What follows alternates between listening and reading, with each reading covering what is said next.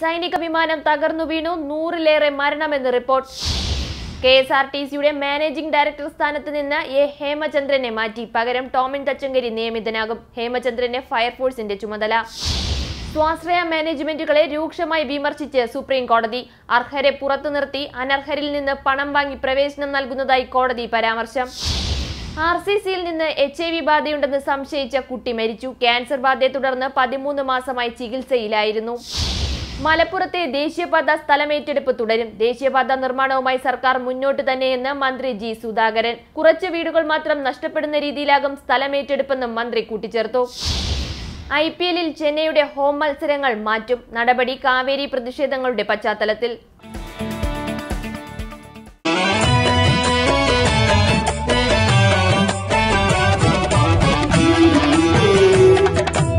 സ്വർണ ചരിത്രത്തിന്റെ നൂറ്റിയൊന്ന് വർഷങ്ങൾ ചുങ്കത്ത് ജ്വല്ലറി.